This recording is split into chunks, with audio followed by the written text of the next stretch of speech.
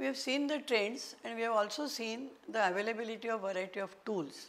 Now let us see how ICT can be used in teaching learning process, ICT can be used for evaluation and assessment and how we can make most of it.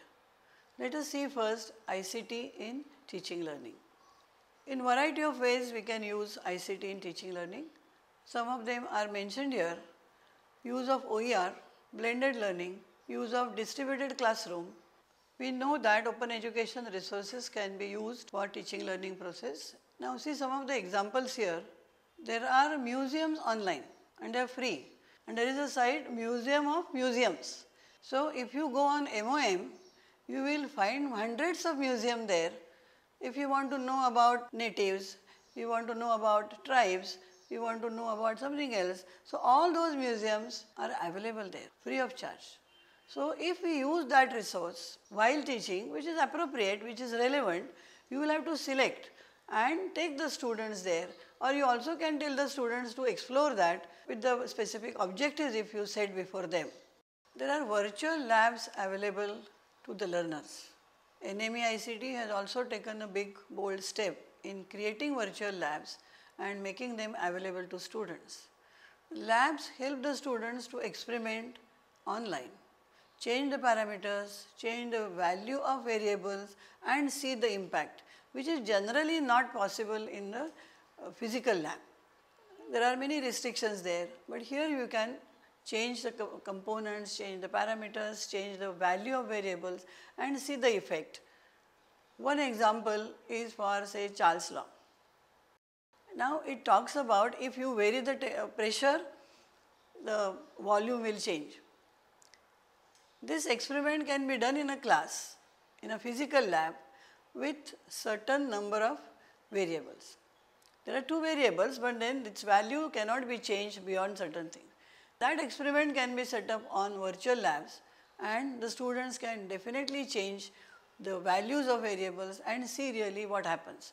And then find out what is the rule, what is the law for it. It is inversely proportional, yes, but how much does it change? Does it change differently for different variables?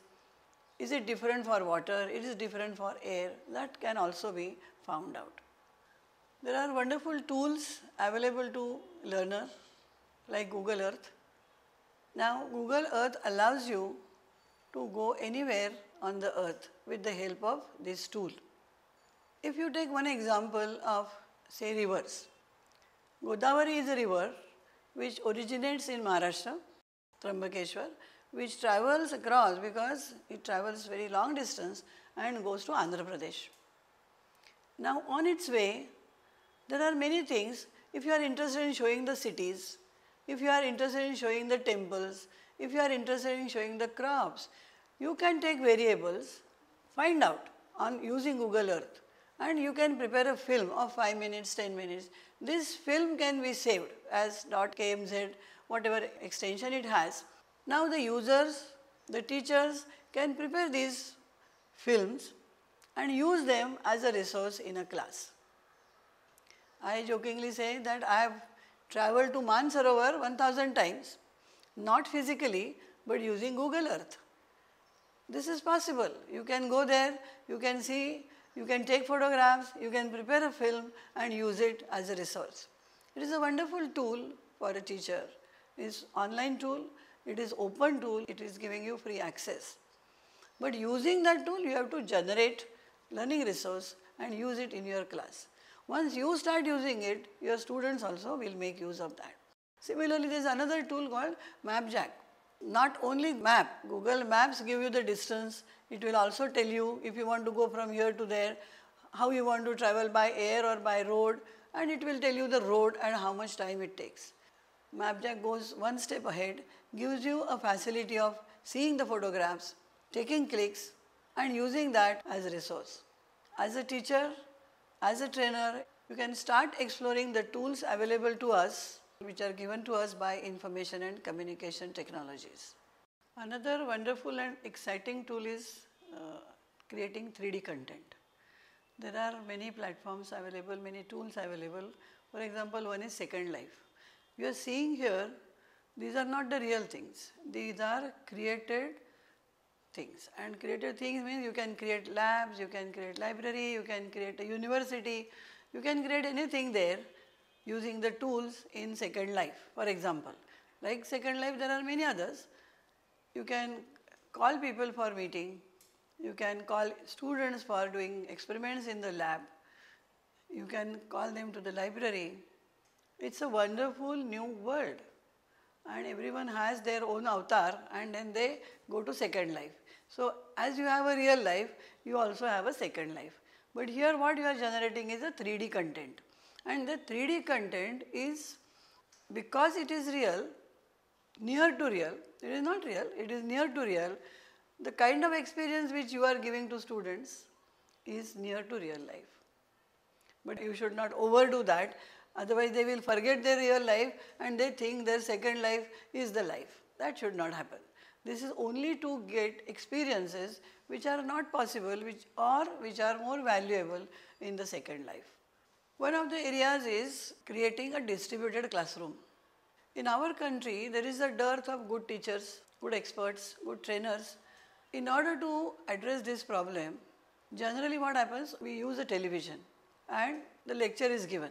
This lecture can be seen by lakhs of people, but there is no interactivity, there is only one way.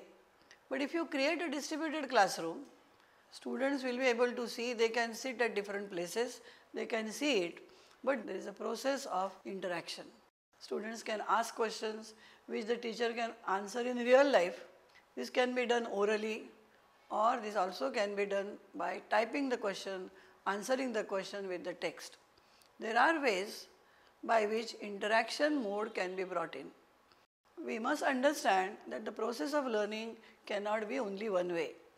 Somebody is giving us information that cannot be called as teaching unless there is an interaction among teacher and student or among students and students observed or moderated by teacher that cannot be called as learning because learning takes place yes but only acquiring information is not learning. We process that information, we make meaning to it then only it is called learning and that is again an individualized process. Everyone learns differently. But ICT tools help the teacher to address these problems of learning, issues of learning which are individual.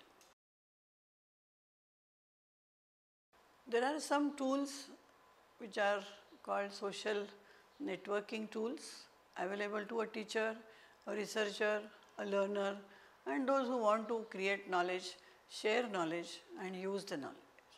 Let us see some of them. There are thousands of such tools available, but if we see some of them, then you will get an idea and then you will start exploring, you will start sharing even the tools with your friends and other learners. One such tool is Pinterest. The title says it is pin.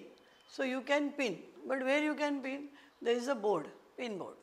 And now if you have created a board for a particular topic, Say you want to create a topic on rivers.